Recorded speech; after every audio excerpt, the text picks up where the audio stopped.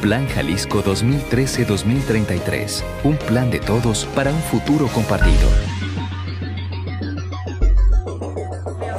Vías de comunicación afectan mucho el desarrollo de la región, ya que pues si no hay una vía de comunicación adecuada, pues hay poca movilidad para lo que es la, la región, ¿no?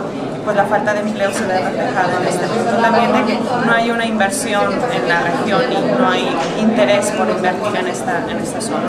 Principalmente trabajar en la cuestión de las vías eh, de comunicación, creo que es una oportunidad, un área de oportunidad muy grande.